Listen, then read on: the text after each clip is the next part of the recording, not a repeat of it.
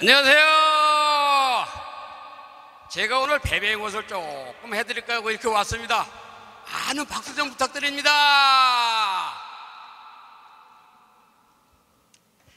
옛날, 옛날 서울 장안에 이정성, 김정성, 최정성, 삼정성 삼부인이 재산은 많으나 슬에 자식이 없어 명산대찰 찾아가 불공이라도 들여서 아들 딸을 낳아보겠다고 삼정성 삼부인이 명산대찰 찾아는데 아 이렇게 가요?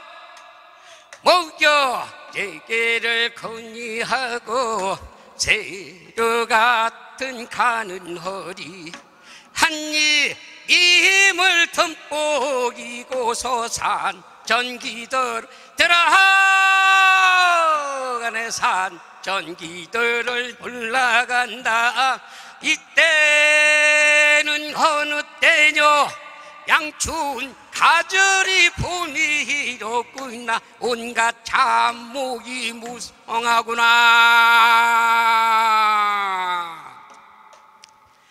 아 이렇게 경치 좋은 곳에 차려잡은 큰 절로 찾아가서 매일같이 삼정성 삼부인이 아들이든 딸이든 좀 낳게 해달라고 밤낮으로 빌고 또 빌고 정성을 들였더니 아 지성이면 감천이라고 그달부터 삼미들 뱃속에 뭐 하나씩 생겼었던가 봐요.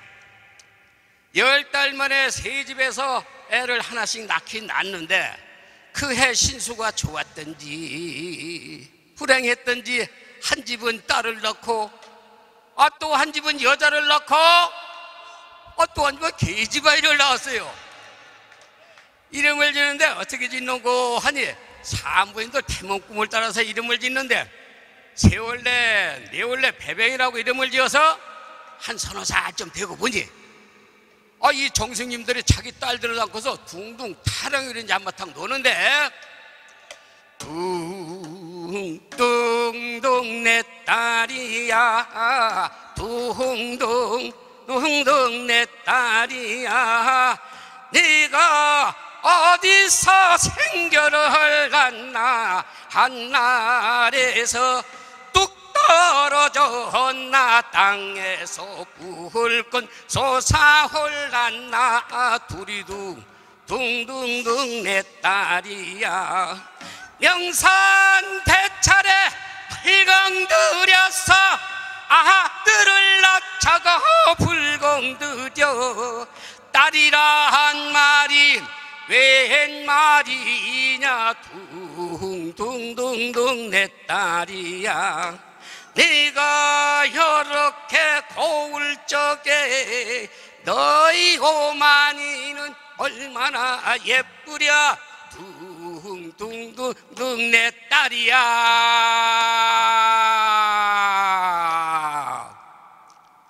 아 이렇게 기른 것이 물준 오이자라도 무럭 무럭 자라서 앞집 세월래 뒷집 네월래는 시집을 가서 아들 딸을 많이 놓고 잘 사는데 가운데 집 배뱅이는 늦게까지 시집을 못 가고 있다가 뒤늦게 시집을 가려고 남의 집 가중에 약혼을 해놓고 예장 비단 혼숙감을 많이 받아놓고 밤이 오면 물려지르려고. 낮에는 바느질을 하면서 시집갈 준비를 하고 있을 때 아 때마침 자 강원도 금강산절에 어여쁘게 생긴 상자 중에 시주를 나왔다가 아, 이 양반이 때마침 온다는 것이 배변의 지문 앞에 와서 이제 연보를 하게 됐는데 아 이때 배병이 아가씨 하고 이 상자 중에 눈이 번쩍 맞아가지고서 아무도 없는 빈 방에서 서로 얼싸 안고 한바탕 사랑 탄핵으로 논이는데 사랑 사랑 사랑 사랑 사랑 사랑 사랑 어우 아, 둥둥 내 사랑아. 이리로 오너라 앞맵실 보자. 저리 가거라 뒷맵실 보자. 방긋 웃어라 입술을 보자. 둘이 둥둥 둥둥둥 내 사랑아. 허공 중천에 틀린 다리 제야 물이 곱다고 해도 우리 배병이 얼굴에다가 어디다가 할 수가 있을 소이냐. 둘이 둥둥 둥둥둥 내 사랑아.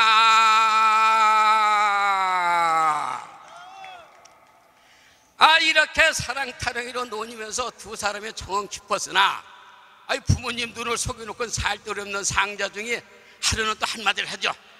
여보시오 아씨. 아 우리가 이렇게 부모님 눈을 속여놓고 살 도리가 없질 않소. 아니 내 저 황해도 봉산에 올라가서 시주나 좀 많이 해가지고 명년 2, 3월쯤 다시 올 테니. 아 우리 그때 만나서 부모님께 말씀드리고 잘 살도록 해봅시다.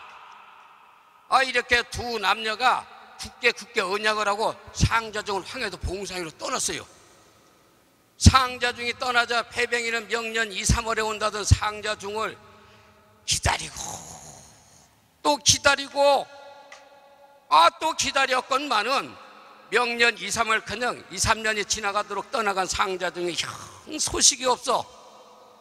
배배이가 상자 중에 얼마나 보고픈지 상사병에 들어서 시름 시름 앓다가 다 죽어가면서 상자 중 찾는 소리를 이제 목이 터져라고 한마디를 하죠 강원 도라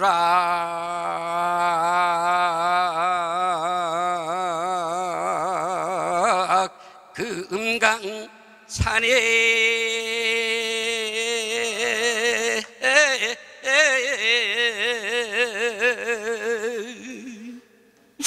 상자 중이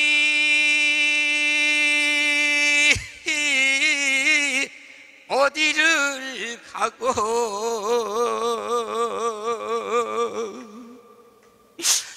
해병이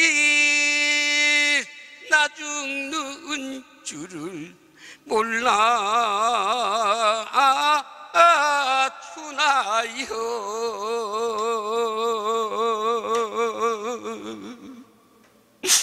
명년이 3월이면은 오마고 하던 상자 중은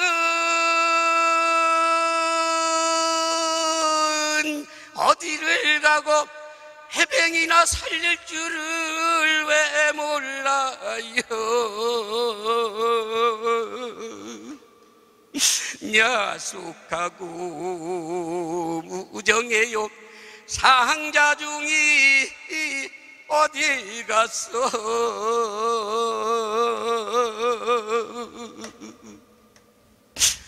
이때에 황천에선 일찍 사자 월찍 사자 패병이 잡으러 나오니 불쌍한 패병이 열두 몇끼 졸라가지고 풍망산천으로 올라가는데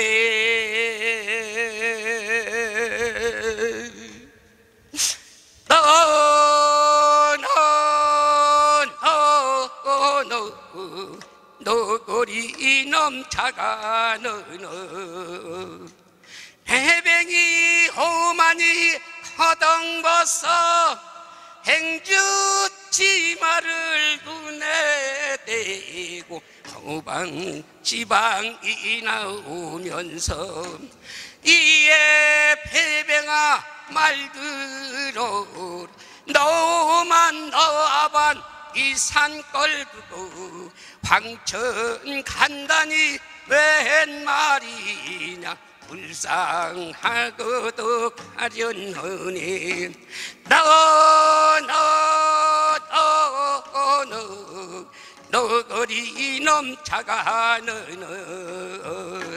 동네 방네 다 버리고 살던 집도 뒤에다가 두고 마지막 가시는 길 하직을 헌 오화 넘차가는 옛 늙은이들이 하신 말씀이 저승길이 멀다더니 오늘 내게 당에서는 대문 밖이 첫승이 구랴 오함 넘차가는 너너너너 너거리 넘차가는 황천길로 들어갈 때 이성항도 서른 세가 저승 강도 서른 세가 칠성강도 서른 세가 아흔 아홉 강 건너를 간 백사장 세모래밭. 눈물이 앞을 가려 못 가근 오와 넘쳐가는 너너너너 너거리 넘쳐가